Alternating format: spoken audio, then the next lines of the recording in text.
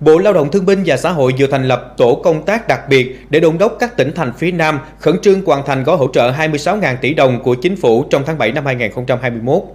Ngay sau khi thành lập, tổ công tác đã có mặt tại thành phố Hồ Chí Minh phối hợp liên tục với 19 tỉnh thành phía Nam để triển khai các hoạt động được phân công. Tất cả các địa phương cam kết hoàn thành việc chi hỗ trợ trong tháng 7 năm 2021. Riêng tỉnh Vĩnh Long bắt đầu chi trả tiền hỗ trợ từ ngày 23 tháng 7, đối tượng ưu tiên chi trước là hơn 6.000 người bán vé số trên tổng số khoảng 9.000 người đã thống kê.